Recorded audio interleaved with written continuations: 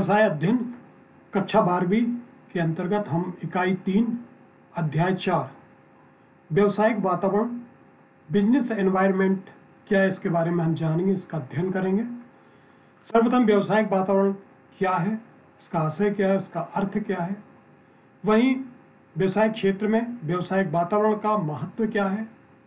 और इसके व्यवसायिक वातावरण के जो तत्व हैं, सूक्ष्म वातावरण एवं बाह्य वातावरण इनके प्रमुख बिंदु कौन कौन से हैं, इनके बारे में हम विस्तार से अध्ययन करेंगे। तो चलिए हम जानते हैं कि व्यवसायिक वातावरण क्या कहलाता है। एक व्यवसायिक उपक्रम समाज का अंग होता है और व्यवसायिक उपक्रम की नीति तथा व्यवसायिक वातावरण में दोनों में घनिष्ठ संबंध होता है। तो यहाँ पर किसी भी देश की व्यवसायिक गतिविधियाँ उस देश के आर्थिक, सामाजिक, राजनीतिक एवं सामाजिक वातावरण को काफ़ी सीमा तक प्रभावित करता है। सामान्य रूप से व्यवसाय और उसके वातावरण एक दूसरे से संबद्ध होता है। एक व्यवसायी को अपने व्यवसाय का संचालन देश की स्थिति, परिस्थिति को ध्यान में रखकर व्यवसाय करना होता है। क्योंकि वर्तमान में व्यवसाय का संचालन काफ़ी जटिल हो गया है। वो वर्तमान राजनीतिक सरकारी नियम व कानून से प्रभावित होता है। अतः इन परिस्थितियों, स्थितियों की उपेक्षा करके व्यवसाय का संचालन करना व्यवसाय के द्वारा संभव नहीं है। यहाँ पर हम देखते हैं कि व्यवसायिक वातावरण क्या कहलाता है। सामान्य तौर पर वो आवरण या घेरा जो हमें चारों ओर से घेरे हुए है, वो वातावरण कहलाता है। उसी प्रकार से एक व्यवसाय की विभिन्न प्रकार की सभी दशाओं, घटनाओं एवं प्रभावों के समूह से घिरा होता है तथा उससे प्रभावित होता है। डेवेस्कीथ ने कहा है कि व्यवसायिक वातावरण से आशय सभी दशाओं, घटनाओं एवं प्रभावों के उस समूह से है जो इसके चारों ओर विद्यमान है तथा उसको प्रभावित करता है। तो एक उपक्रम की व्यवसायिक नीतियाँ दो प्रकार के तत्वों से प्रभावित होती हैं, एक आंतरिक तत्व और दूसरा बाहरी तत्व। आंतरिक तत्वों पर उपक्रम का नियंत्रण होता है। इन तत्वों को उपक्रम वातावरण के अनुकूल परिवर्तित कर सकता है, जबकि बाह्य या बाहरी तत्व अनियंत्रित होते हैं, क्योंकि ये बड़ी सीमा तक उपक्रम के नियंत्रण से बाहर होते हैं।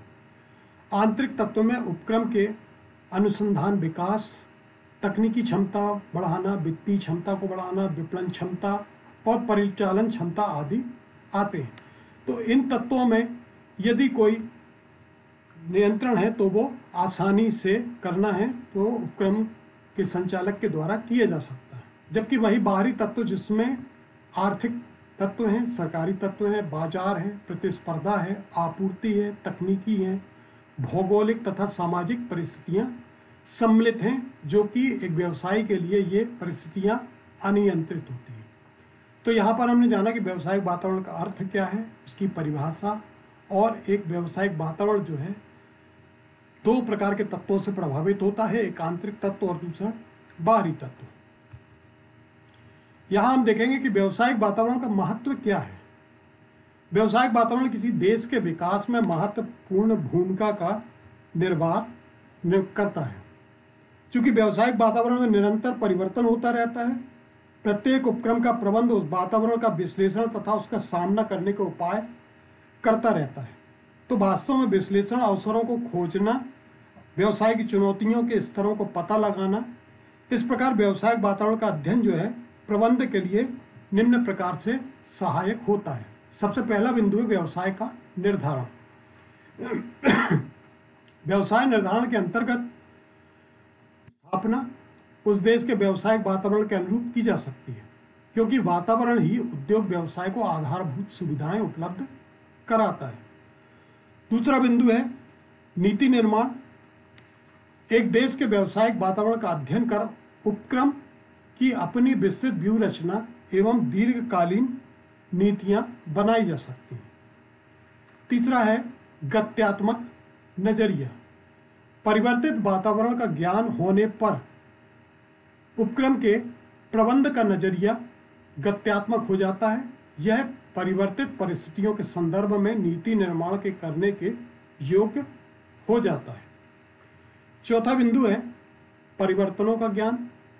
वातावरण चूँकि सदैव परिवर्तनशील होता है, जैसे उपभोक्ताओं की रुचि, फ़ैशन, आदत, विभिन्न तकनीकी उत्पाद का रंग, रूप आदि ये सभी परिवर्तित होता रहता है। इन सब की जानकारी व्यवसायिक वातावरण के माध्यम से प्राप्त होती रहती है। तो एक उत्पादक के लिए इन सभी की जानकारी आवश्यक है। अतः एक उत्पादक को व्यवसायिक वातावरण में होने वाले परिवर्तनों का ज्ञान प्राप्त हो जाता है। फिर प्रतिस्पर्धी व्यू रचना इसके अंतर्गत जो है, व्यवसायिक वातावरण उपक्रम को अपने प्रतिस्पर्धियों की व्यू रचनाओं का अध्ययन कर शोध योग्य बनाता है और इसी आधार पर प्रबंध इन व्यू रचनाओं या चुनौतियों का सामना करने के लिए प्रभावकारी रूप से अपने को तैयारी कर लेता है। फिर अंतिम है, योजना बनाने में सहायक। व्यवसायिक वातावरण के माध्यम से अनेक जानकारियाँ प्राप्त हो जाती हैं। व्यवसायिक स्थिति, परिस्थितियों की जानकारी प्राप्त हो जाती है, जो कि उसको अपने उपक्रम या व्यवसाय की योजना बनाने में सहायक सिद्ध होती है। तो ये है व्यवसायिक वातावरण का महत्व। इसके बाद हम जानेंगे कि व्यवसायिक वातावरण के आयाम या तत्व क्या होते हैं। तो व्यवसायिक वातावरण चूँकि एक विस्तृत और व्यापक शब्द है, इसमें मुख्य रूप से दो अंगों को सम्मिलित किया गया है जो कि आंतरिक वातावरण एवं बाह्य वातावरण होते हैं। आंतरिक तत्व जिसमें व्यवसायी या उद्यमी द्वारा स्वयं नियंत्रित किए जा सकते हैं। इनमें शीघ्र परिवर्तन होता है, जो कि व्यवसाय की नीतियाँ, नियम व योजनाएँ, उद्देश्य, लक्ष्य, उत्पादन प्रणाली व्यवसाय के मानव संसाधन, संगठन, उसकी संरचना, मजदूरी नीति आदि प्रमुख है, जिन पे व्यवसाय जो है अपना कंट्रोल स्वयं कर सकता है। परंतु वहीं दूसरी ओर, बाह्य तत्व, जो कि व्यवसाय का वास्तविक वातावरण होता है, इन वातावरणों का प्रभाव व्यवसाय पर पड़ता है। व्यवसाय की प्रगति, विकास, शिथिलता आदि इन्हीं वातावरणों पर निर्भर करती है। अतः यहाँ हम विस्तार से देखेंगे कि व्यवसाय को वातावरण को दो भागों में बांटा गया है। पहला, सूक्ष्म वातावरण और दूसरा, व्यापक वातावरण। प्रथम है सूक्ष्म वातावरण। सूक्ष्म वातावरण में उपक्रम से समीपता रखने वाली वे शक्तियाँ हैं जो उसके ग्राहक को प्रदान की जाने वाली सेवाओं की क्षमता को प्रभावित करती हैं। तो जिसमें सर्वप्रथम है आपूर्ति करता इसमें वे फर्म या वे व्यक्ति हैं जो कंपनी को कच्चा माल, पुर्जे आदि की आपूर्ति करते हैं। आपूर्तिकर्ताओं के वातावरण में यदि कोई घटना हो जाती है तो इसका प्रभाव व्यवसाय पर पड़ता है। जैसे उदाहरण के लिए, यदि कच्चे माल की आपूर्ति में कमी हो गई, मजदूरों की हड़ताल आदि हो गई, या अल्पकाल में बिक्री कम हो गई तो ये जो है, व्यवसाय पर बुरा प्रभाव डालती है। अतः किसी एक आपूर्तिकर्ता पर निर्भर रहने की जोखिम रहती है तो कंपनी को जो है विभिन्न आपूर्तिकर्ताओं से भी संबंध बनाकर रखना पड़ता है। दूसरा, विपणन मध्यस्थ। वे फर्में जो व्यवसायिक उपक्रम की वस्तुओं व सेवाओं के विकास, बिक्री, वितरण आदि में सहायता करती हैं। जैसे थोक व्यापारी, फुटकर व्यापारी, विपणन सेवा प्रदान करने वाली एजेंसी, वित्तीय मध्यस्थ आदि व भौतिक रूप से वितरण करने वाली फर्में जैसे गोदाम गृह व परिवहन आदि। अगला बिंदु है ग्राहक। व्यवसायिक उपक्रम को अपने बाज़ार का निकटता से अध्ययन करना पड़ता है। एक उपक्रम की सफलता नए बाज़ार के सृजन व उसे बनाए रखने पर निर्भर होती है। ग्राहक बाज़ार में उपभोक्ता बाज़ार, व्यावसायिक बाज़ार, पुनः बिक्री बाज़ार सरकारी बाज़ार और अंतर्राष्ट्रीय बाज़ार सम्मिलित होते हैं। अतः आवश्यक है कि प्रत्येक बाज़ार का गहनता से अध्ययन किया जाए। तो यहाँ पर हम देखते हैं कि उपभोक्ता बाज़ार जैसे व्यक्तियों और परिवारों के समूह से मिलकर बनता है। तो इस प्रकार से यहाँ पर ग्राहक बिंदु के अंतर्गत जो है सूक्ष्म वातावरण के अगला बिंदु है प्रतिस्पर्धा। एक व्यवसायिक उपक्रम की सफलता इस बात पर निर्भर होती है कि अपनी प्रतिस्पर्धा की तुलना में ग्राहकों को संतुष्ट करने की क्षमता उसके अंदर कितनी अधिक है। अर्थात उसके द्वारा जो व्यवसाय किया जा रहा है, किए जाने वाले व्यवसाय से उसका ग्राहक कितना संतुष्ट हो रहा है, इसको ध्यान में रखना आवश्यक है। वो अपने ग्राहक को जितना अधिक संतुष्ट करेगा, उतना ही लाभ प्राप्त करेगा। अतः उपक्रम को अपनी व्यू रचना बनाते समय प्रमुख प्रतिस्पर्धियों के आने एवं बाज़ार जाने एवं स्वयं के बाज़ार में टिके रहने और अपनी वस्तुओं की प्रतिस्थापना तथा वर्तमान प्रतियोगियों की व्यू रचना में हुए परिवर्तनों को ध्यान में रखना आवश्यक होता है। अगला बिंदु है जनता। एक व्यवसायिक वातावरण के अंतर्गत उपक्रम विभिन्न प्रकार की जनता से घिरा होता है। इसमें जनता का आशय किसी समूह से है, जिसका वास्तविक एवं संभावित हित अपने उद्देश्य को प्राप्त करने के लिए संगठन की क्षमता को प्रारंभित करना होता है। जनता विभिन्न प्रकार की होती है, जैसे वित्तीय जनता, मीडिया जनता, स्थानीय जनता और आंतरिक जनता। तो वित्तीय जनता में जैसे बैंक, विभिन्न वित्तीय संस्थान स्टॉक होल्डर आदि जो पूंजी प्रदाता होते वे आते हैं। मीडिया जनता में जैसे समाचार पत्र पत्र पत्रिकाएँ, रेडियो, टेलीविज़न, जो समाचार प्रदाता होते हैं, वे साथ ही स्थानीय जनता में पड़ोस के निवासी तथा सामुदायिक संगठन आते हैं। वहीं आंतरिक जनता, जिसमें उपक्रम या संस्था के कर्मचारी, प्रबंधक, बोर्ड निदेशक आदि आते हैं, ये सभी उपक्रम को आंतरिक रूप से प्रभावित करते हैं। तो ये थे सूक्ष्म वातावरण के अंतर्गत आपूर्तिकर्ता, विपणन मध्यस्थ, ग्राहक, प्रतिस्पर्धी और जनता। ये किस प्रकार से व्यावसायिक वातावरण को प्रभावित करते हैं? इसमें दूसरा तत्व जो है, व्यापक वातावरण। व्यापक वातावरण के तत्व सूक्ष्म वातावरण के तत्वों से अधिक अनियंत्रित होते हैं, अर्थात ये जल्दी कंट्रोल नहीं किए जा सकते। इन्हें सहजता से नियंत्रित नहीं किया जा सकता। इनमें से प्रमुख है, जैसे सर्वप्रथम है, राजनीतिक वातावरण। तो एक देश में जो विद्यमान राजनीतिक व्यवस्था, उस देश की व्यवसायिक क्रियाओं का निर्धारण, प्रोत्साहन एवं नियंत्रण करती हैं। एक देश में व्यवसायिक उद्योग के लिए आवश्यक है कि उस देश की राजनीतिक परिस्थितियाँ स्थिर, ईमानदार व कार्यकुशल हों। यदि देश में राजनीतिक स्थितियाँ अच्छी नहीं हैं, अस्थिरता है, आतंकवाद है, अशांति है तो इसका व्यवसायिक फर्मों के विकास पर बुरा प्रभाव पड़ता है। दूसरा है आर्थिक वातावरण या तत्व। एक देश की अर्थव्यवस्था की वर्तमान स्थिति एवं उसका भविष्य एक फर्म की रचना को प्रभावित करता है। अर्थात तो उस देश की आर्थिक दशाएँ, जैसे वस्तुओं व सेवाओं की कीमतों की प्रवृत्ति, अर्थात मुद्रास्फीति या मंदी अर्थव्यवस्था के विकास की अवस्था, आर्थिक संसाधन, आय व संपत्ति का स्तर व उसका वितरण आदि जो है आर्थिक वातावरण को प्रभावित करता है।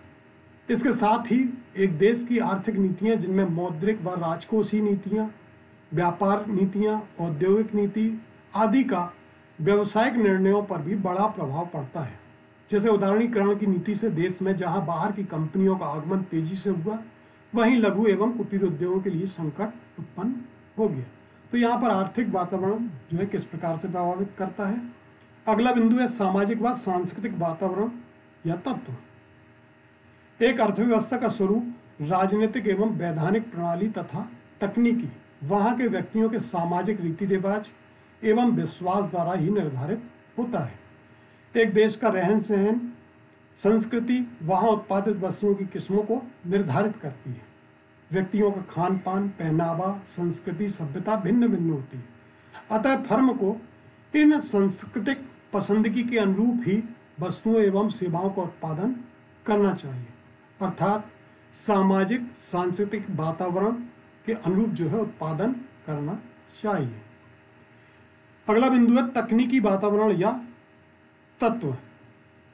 एक व्यवसायिक उपक्रम में तकनीकी वातावरण इस बात को प्रभावित करता है कि अर्थव्यवस्था के संसाधनों को उत्पाद में परिवर्तन करने के लिए किस प्रकार से प्रयुक्त किया जाता है। तकनीकी परिवर्तन उत्पादन विधियों, प्रक्रियाओं एवं वस्तु के निर्माण में कच्चे माल के उपयोग को प्रभावित करता है। आज आधुनिक समाज तकनीक अत्यंत महत्वपूर्ण हो गई है। ये उत्पादकता को प्रभावित करती है। तकनीकी परिवर्तन ही एक फर्म को उसके व्यवसाय उद्देश्यों को प्राप्त करने के योग्य बनाती है। फर्म बाज़ार में रह पाएगी या नहीं, ये तकनीकी परिवर्तनों पर ही निर्भर होता है। जो फर्म परिवर्तित तकनीक को नहीं अपनाती, उसका अस्तित्व समाप्त हो जाता है। तकनीकी में तीव्र परिवर्तन भी एक समस्या है, क्योंकि उत्पाद तेज़ी से बेकार हो जाते हैं। हालाँकि अर्थव्यवस्था के सभी क्षेत्र तकनीकी परिवर्तन से एक समान प्रभावित नहीं होते। जैसे ऑटोमोबाइल्स औषधि उद्योग, इलेक्ट्रॉनिक उद्योग, ये तकनीकी रूप से तेज़ी से प्रभावित होते हैं। तो वहीं फर्नीचर, वस्त्र उद्योग, इनका तकनीकी परिवर्तन का अधिक प्रभाव नहीं पड़ता। इस प्रकार से जिन उद्योगों पर तकनीकी परिवर्तन का प्रभाव पड़ता है उन उपक्रमों को जागरूक रहना पड़ता है। अंतिम बिंदु है यहाँ पर वैधानिक वातावरण या तत्व। केंद्र, राज्य या स्थानीय सरकार व्यवसायिक क्रियाओं को प्रभावित करती है। वो मजदूरी, कीमत, रोज़गार, कार्य की दशाएँ, सुरक्षा, स्वास्थ्य, प्रदूषण आदि से संबंधित नियम बनाती है। ये नियम व कानून व्यवसाय की क्रियाओं को एक हद तक प्रभावित भी करती हैं। ये नियम जहाँ एक और व्यवसाय के विस्तार के लिए अवसर उपलब्ध कराती हैं तो वहीं निजी व्यवसाय के लिए प्रतिकूल भी साबित होती हैं। तो सरकार जब बड़ी मात्रा में वस्तुओं और सेवाओं को खरीदती है तो निजी व्यवसाय को विस्तार के अवसर भी उपलब्ध होते हैं। और जब पिछड़े क्षेत्रों में सरकार के द्वारा उद्योग व्यवसाय की स्थापना की जाती है तो उनके द्वारा अनेक रियायत भी प्रदान की जाती है। अतः सरकारी नीतियाँ में परिवर्तन जो है वो व्यवसाय के अवसरों पर प्रभाव डालते हैं। तो इस प्रकार से यहाँ हमने देखा कि व्यवसायिक वातावरण को, सूक्ष्म तत्व और व्यापक तत्व किस प्रकार से प्रभावित करते हैं, ये हमने विभिन्न बिंदुओं के आधार पर जाना। अब इस अध्याय के अंतर्गत जो है आपको इन प्रश्नों के उत्तर कापी में लिखना है, जिसमें प्रश्न क्रमांक एक है, व्यवसायिक वातावरण से क्या आशय है, उसका अर्थ, उसकी परिभाषा लिखिए। दूसरा प्रश्न है, व्यवसायिक वातावरण के महत्व को बिंदुवार समझाइए। तथा तीसरा प्रश्न जो है, व्यवसायिक वातावरण के अंतर्गत उसके सूक्ष्म एवं व्यापक तत्वों को